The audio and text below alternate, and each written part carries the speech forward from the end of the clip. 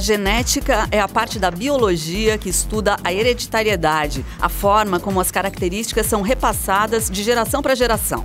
A evolução das espécies está relacionada diretamente com as mudanças na composição genética da população ao longo do tempo. Mas quais são os principais avanços nas pesquisas sobre genética? Esta é a pauta do Viva Voz de hoje, que está no ar pela rádio e também pela TV Univale. Hoje comigo a acadêmica de jornalismo, Juni Hugen. Boa tarde, Lisa. Boa tarde, professor. Também boa tarde a você que está aí curtindo o Viva Voz pela rádio e pela TV Univale. Participe conosco do programa através do Instagram e do Twitter, arroba Viva Voz Univale. Curta nossa página no Facebook, facebook.com Viva Voz Univale e também nos mande sugestões através do e-mail vivavoz949.gmail.com. Isso mesmo. E para conversar com a gente sobre evolução e genética, nós convidamos o professor Luiz Eduardo Biso, que é biólogo, mestre e doutor em ciências. Professor Luiz, Luiz Eduardo é docente nos cursos, no curso de Ciências Biológicas aqui da Univale. Obrigada pela participação, professor. Obrigado, Lisa. Obrigado, Juni. Uh, boa tarde a todos os ouvintes. Isso mesmo. E a nossa intenção é, é entender um pouquinho mais desse universo tão interessante da genética. É, Para começar, a gente gostaria de te perguntar: o que é evolução no contexto biológico? É uma ótima pergunta, porque as pessoas costumam uh, confundir, né, tratar o termo evolução, a gente usa no nosso cotidiano o termo evolução como sendo um progresso. Então, quando a pessoa melhora, fala que está evoluindo, né? Então, Uh, no contexto cultural, a gente tem uma mudança, por exemplo, né, na, no, na, que a gente considera como sendo a beleza ou nas uh, expressões artísticas. Isso é bem diferente da mudança biológica. A mudança biológica é uma mudança na população, em uma população, a mudança genética nessa população. Então, uh, na frequência de, algumas, de alguns genes nessa população. Então, necessariamente, não é um, um avanço, não é um progresso, como exatamente. você dizendo. Não necessariamente é um progresso, não é, não é para melhor certo. ou para pior, é só mudou. Pode ser bom, pode ser ruim, não interessa, é que mudou. E quais são os avanços na genética atualmente? Está tá sendo feito pesquisa, estudo?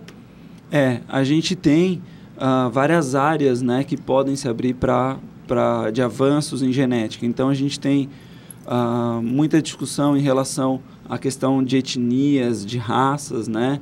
Uh, se existem ou não existem. Então, uma, um contexto genético disso. E a gente sabe que tem uma diferença cultural bem clara, mas e geneticamente? Como que, né, uh, como que isso ocorre? A história da evolução humana é uma área bastante estudada. E a gente tem também uma uma ênfase bastante médica, né, voltada para a medicina personalizada. Então, como tentar uh, obter fármacos, tratamentos voltados especificamente para aquela pessoa. A partir da sua, a constituição, partir da sua constituição genética, genética. Você vê qual que é para ver como que ela vai reagir, o que, que é mais indicado. Tá certo. Agora, eh, eu acho que uh, as pessoas que não são da área e que têm alguma informação sobre evolução e genética uhum. vão sempre lembrar do Charles Darwin, né? Uhum. Então, uh, eu queria que você contasse para a gente rapidamente, lógico, não é uma aula, né? Mas a gente gostaria muito de ter algum tipo de informação sobre essa teoria da evolução do, do, Charles Darwin. O, o que é possível sim, dizer? Sim, sim. A, o, na verdade, assim, a questão da evolução, da mudança das espécies já era conhecida né? Então Lamarck é, na, na, história a gente sempre aprende Lamarck e Darwin. Então Lamarck ele já tinha proposto essa mudança, foi uma contribuição importante, mas o Darwin a grande contribuição dele não foi propor evolução, mas propor um mecanismo de evolução. Então o livro dele todo mundo chama é a origem das espécies. Na verdade o, o livro dele é a origem das espécies por meio da seleção natural. Então ele propôs a seleção natural como sendo um mecanismo ele analisou populações e analisou uh, agricultores, né? E uh, na verdade ele tinha um, um, uma proximidade com criadores de pombos e ele viu que eles conseguiam criar pombos com características bem diferentes. Então tinha um pombo, por exemplo, que eles conseguiam criar, selecionar esse pombo, que é um pombo que ele só anda dando pirueta para trás. Ele não Olha. consegue andar para frente. É algo maluco, né, que não existiria na natureza, mas que pela seleção do homem a gente consegue fazer. Isso está presente em todo, ah, em tudo, né? Ah, todos os vegetais que a gente come hoje foram selecionados pelo homem para ser maiores, mais carnudos, as folhas mais tenras, mais macias, os animais para produzir mais carne, mais leite. Então tudo é por essa seleção. Ele, o, a, quando Darwin publicou o livro dele, e na verdade junto com o Wallace, outro pesquisador, isso naquele momento não foi visto com grande, ah, não foi nenhuma grande novidade. Ele não foi contestado por isso. A grande contestação dele veio dez anos depois, quando ele fez um outro livro que aí ele colocou o homem na evolução. Então, as pessoas aceitavam bem a evolução dos animais e das plantas. Mas é quando ele pôs o homem ali no meio, o homem como sendo animal, como qualquer outro, aí complicou. Você estava falando sobre cada um tem uma genética, né, e tudo mais. Uhum. Ah, quais são, é, nos filmes, principalmente de ficção científica, é apresentado muito esses conceitos de genética, né? Até onde é- verdadeiro que apresentam nesses filmes? Sim. A gente tem ah, algumas coisas, por exemplo, que eles. Uh, CSI tem muito isso, né? Ele vai lá, em uma hora ele já vê o perfil genético da pessoa, já faz. Não, isso demora dias. A perspectiva com o tempo é que a gente consiga ver isso bem rápido, né? Então, por exemplo, num, num teste, num, numa viatura policial, você já tenha todo o equipamento necessário para fazer uma identificação genética de uma pessoa. Qualquer coisa que você encontrar, você já poder fazer, qualquer vestígio que você encontrar, conseguir fazer ah, uma identificação. Mas, então, ah, tem isso, tem a questão de modificações genéticas, né? Então, a gente vê lá os X-Men são, são mutantes, né? Mas são mutações que criam asas e poderes e tal, coisas que não existem na natureza. E a evolução, ela só ocorre com o que existe.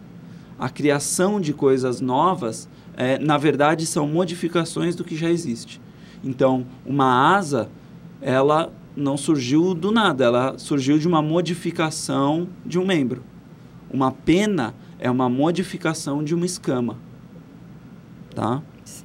Muito bem. A gente vai ter que ir pausando esse programa para a gente ir absorvendo as informações. É. Bacana. Agora, professor Luiz, é, desde a descoberta do DNA e todos os estudos e pesquisas envolvendo essa descoberta, inclusive na medicina, que você já é, mencionou, acabou trazendo também uma série de dilemas éticos, né? Para se lidar com tudo isso, né? É, O que pode, o que não pode neste momento? Quais são a- as regras e qual é a ética presente, dominante nas pesquisas que envolvem DNA e, e genética em Aham. geral? A gente tem muito a questão né, da, da, da transgenia, então, assim, da de mudar geneticamente organismos. Então, algo ah, um, ah, bastante complicado. A gente tem, no fundo, as, a seleção artificial que nossos antepassados faziam era uma mudança genética. A gente estava mudando geneticamente esses organismos. Como assim a seleção artificial? Há, por exemplo, criação de vacas né, para a produção de leite. A certo. gente sempre seleciona as vacas que produzem mais leite. Ok. A gente está indiretamente selecionando as vacas que têm genes para produção maior de leite.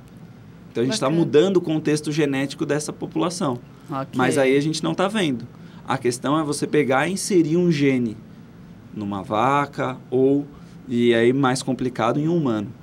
Né? Então a gente aceita bem fácil isso para bactéria e para alguns animais. Mas aí para humano é complicado. Então a gente tem hoje a produção de insulina, ela é feita de hormônio do crescimento, é feita em bactéria.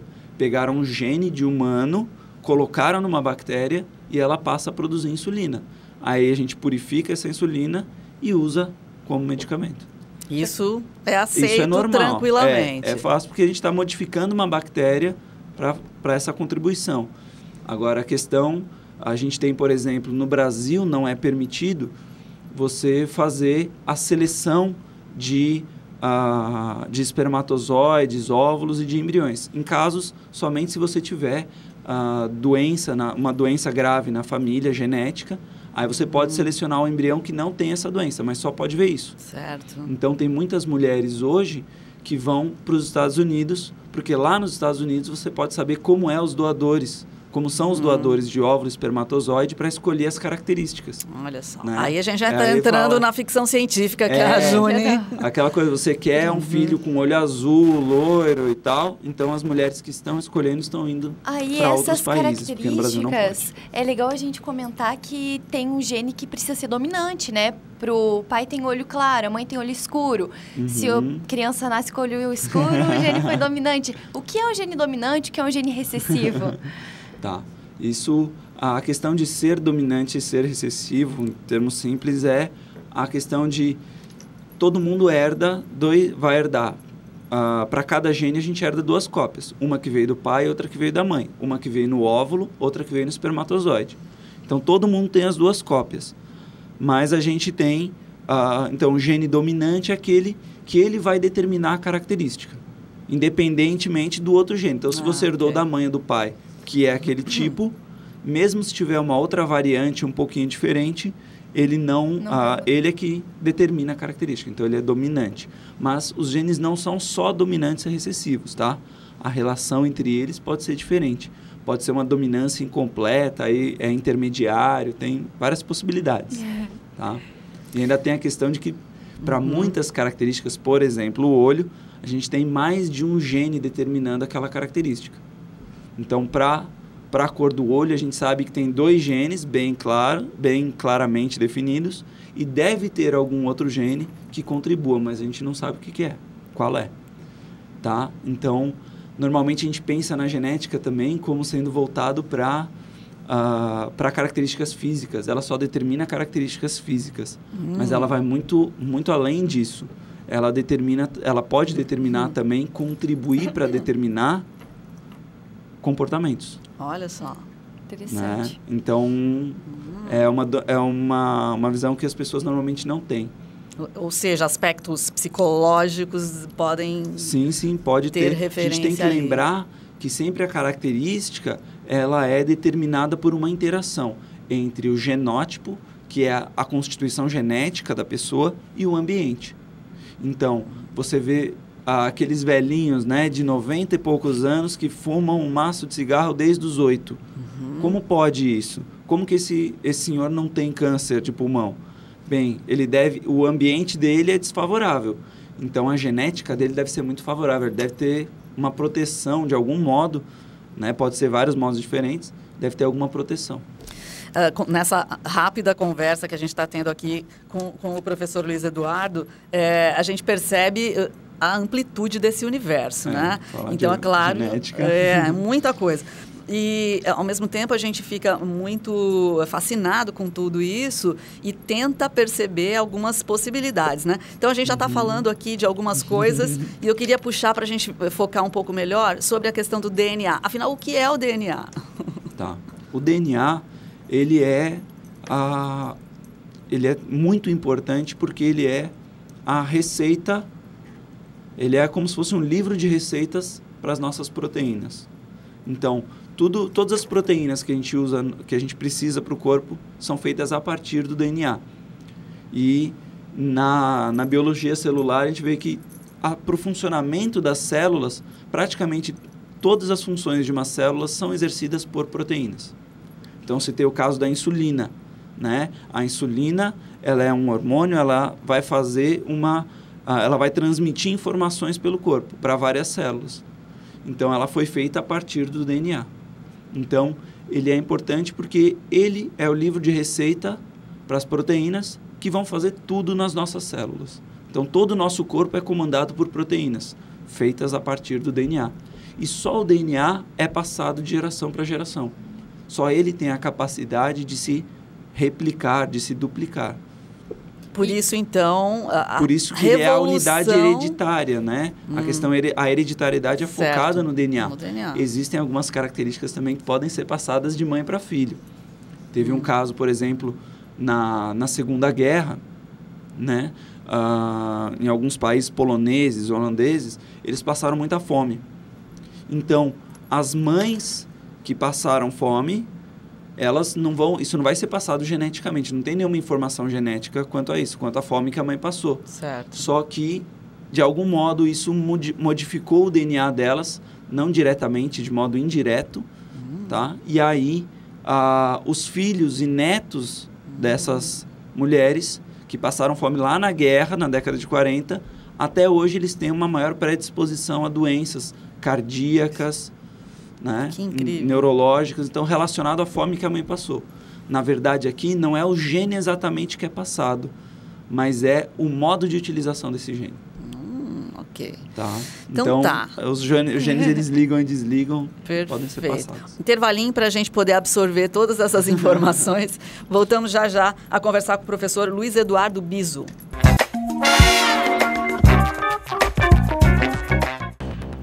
O Viva Voz de hoje está recebendo o professor Luiz Eduardo Biso. Isso mesmo, estamos falando sobre evolução, sobre genética, muita coisa, muita informação. Uhum. Mas, é, professor Luiz, é, voltando para a questão, então, é, da, da medicina, é, uhum. aplicado, DNA aplicado à medicina, de que maneira Isso. as coisas podem é, realmente ser um ganho para a saúde humana. Eu queria citar um, um, um, caso que eu acho que é muito conhecido da uh, atriz Angelina Jolie, uhum. que fez, uh, fez alguns testes e resolveu, exatamente, Isso. evitar um possível sei. câncer que ela teria no futuro. É, é bem interessante esse que caso. Que você acha é, disso? Ele é muito ilustrativo para a gente. Uh, o que, que aconteceu então? A Angelina Jolie, ela já tinha a mãe e a avó dela, dela tiveram câncer de mama e câncer de ovário, tá? Então ela já tinha casos histórico familiar desse uhum. tipo de câncer e esses dois tipos de câncer são grande parte dos casos são causados por dois genes. Dois genes são os mais importantes. No caso da família dela, ainda a mãe teve muito cedo. Quanto mais cedo o câncer, é uma, é uma, uma evidência de que isso é genético. Okay. Então ela tinha claramente essa, essa indicação. E aí ela fez o teste e viu que ela tem os alelos, né, que predispõem ao câncer. Então ela viu que ela tinha uma probabilidade de desenvolver câncer de mama mais de 80% nos próximos 20 anos. Então, aí ela resolveu fazer então a mastectomia total, tirar todo o tecido mamário, que é o tecido que pode desenvolver o câncer de mama. Então, a gente tem muito mais em mulher do que em homem, porque ela tem mais desse tecido do que o homem. Então, ah. você concorda? É, você acha que é um é. uso adequado desses estudos para a saúde, para a medicina? É interessante que, assim, é um caso, a gente tem uma indicação clara para fazer isso. Uhum. O problema é se todo mundo quiser fazer para todas as doenças. Uhum. Se a gente ficar fazendo o teste, a gente já faz o teste do pezinho, né? Que é bastante importante, um avanço muito importante para a saúde pública. Mas a gente tem, uh, a gente poderia fazer testes para 50, 100 doenças nos próximos anos. E Nossa. o que, que a gente ia encontrar? Todo mundo tem a predisposição para uma ou mais doenças. Então, todo mundo tem uma predisposição para uma, duas, três, quatro doenças. Certo. Imagina uma mãe com cinco filhos, sabendo que cada filho tem predisposição para quatro doenças iguais ou diferentes. Uhum. Como que essa mãe vai conseguir sobreviver, né? A, a, agonia. Então, isso tem, uma, é, tem uma questão psicológica ali muito importante. Como que essas pessoas vão viver ela tem uma predisposição, não quer dizer que ela vai desenvolver a doença, né? É só mais do que a média. Tá? E nós uh, nos adaptamos né, aos ambientes, conforme passa o tempo, nossas características vão mudando do ser humano. Uhum. Então, o que pode acontecer com os seres humanos em relação às transformações genéticas naturais, sabe? É, poluição, a gente uhum. sabe, né, que as calotas polares estão derretendo e tudo mais. Como que a gente vai se adaptar a essas coisas? Tá. Uma, uma questão importante é a gente pensar que cada indivíduo ele nasce e morre geneticamente igual, né? Então, você nasceu e morreu, a, a sua constituição genética não mudou, mas o que pode mudar é a constituição genética da população. Uhum. Então, alguns genes que são deletérios, a tendência deles era, é de serem perdidos, tá? Então, o homem, na verdade, isso para todas as populações, né? Isso é a seleção natural, tá? E uh, o homem, na verdade, a influência dele é que ele está estagnando muito da, da, da evolução natural que acontecia. Então a gente vai a, a gente vai se ambientando né, a diferentes locais. Então, se o frio de menos 10 graus seria um empecilho para a nossa sobrevivência, hoje não é. A gente tem casaco, a gente tem, tem lareira, a gente faz de tudo e consegue sobreviver. Então o homem ele vai contornando isso. Várias questões médicas, né, fazem com que a gente consiga estagnar. Então, doenças que antes matavam muito na infância, hoje a mortalidade já está bem menor. A mortalidade infantil em geral é bem menor, também por essas doenças. Então a gente vai estagnando essa, essa evolução biológica, tá? Por outro lado, a gente tem também uma evolução biológica que está acontecendo o tempo todo, que é a miscigenação. Então, até algumas décadas, centenas de anos atrás, a gente tinha várias populações bem separadas. E o processo que a gente tem hoje cada vez mais é a miscigenação. Então, uh, pessoas indo de um lado para o outro, tendo filhos. Então, o que a gente dizia há 100 anos do que eram os índios brasileiros há 100 anos, não são os índios brasileiros de hoje, porque a miscigenação já é muito maior. Interessante. Eu acredito que isso seja tema da sua disciplina, né? Também. Que é genética de populações. Uhum. Eu queria que você falasse um pouquinho sobre uh, qual é a abordagem principal. Fala um pouquinho da disciplina, professor. Sim. A disciplina é, faz parte, então, do, do curso de Ciências Biológicas, né? E ela é uma disciplina voltada para a gente analisar como são as populações, como que as frequências dos genes mudam nas populações e o efeito que isso pode ter. Então, tem um contexto tanto a questão uh, humana, né? Então, de como isso aconteceu historicamente, de como foi as mudanças na população humana, como que as populações foram se separando e depois elas vão agora estão se miscigenando, né, se misturando. A, a questão da formação das espécies, então como se formam novas espécies é populacional. As populações se separam e depois não voltam a se encontrar. Uhum. Elas não ou então quando se encontram eles não se cruzam mais por várias razões, né? Uh, e tem também a questão de conservação. Então, você conservar algumas populações, algumas espécies, a gente vai ver lá o trabalho que se tem, por exemplo, com o mico-leão dourado, né? Ou então com a ararinha azul. Isso.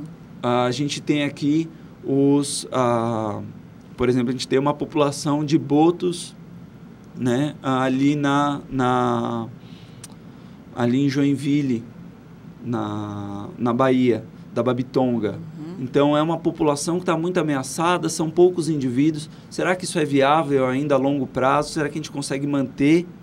Né?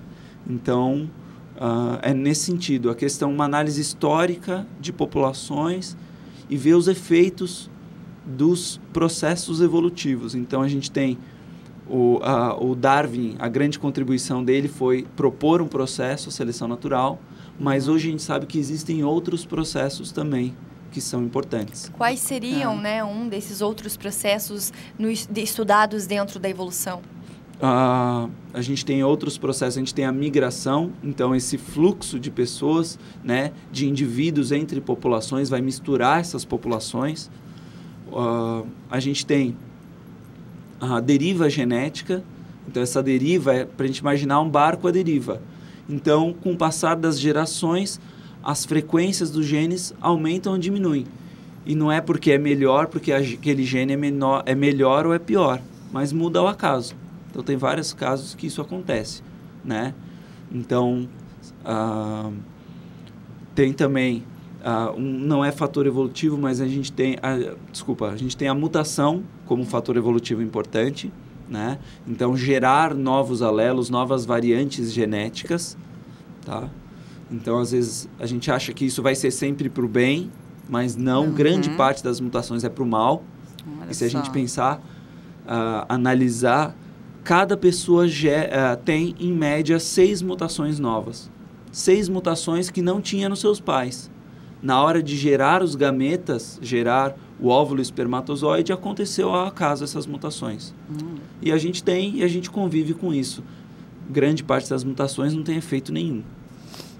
Olha só, interessantíssimo. Ele falando, me lembrei da entrevista é, que foi concedida pelo secretário da Saúde agora há pouco, uhum. e ele mencionava o mosquito Aedes aegypti. Uhum. Ele usou o termo, ele está evoluindo, que uhum. antes ele voava baixo, agora ele agora está voando é, alto, ele está é. chegando em outros lugares. E antes era um tipo, agora são, são quatro, quatro tipos. tipos. Exatamente, tudo... a gente tem essa e aí é uma evolução biológica mesmo, né? Ele está mudando porque a gente tem pressões.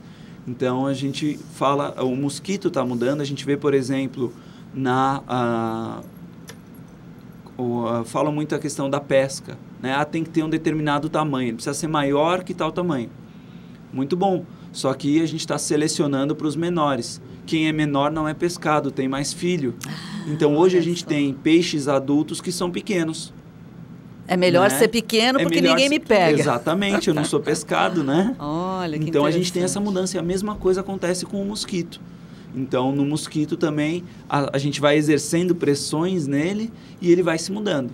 Então, se antes ele só ia na num, no, só vivia num certo ambiente, ele vai começar a, a essas variantes hum. que conseguem sobreviver, que surgem ao acaso por mutação que conseguem sobreviver em outros ambientes são favorecidas, porque elas não são combatidas.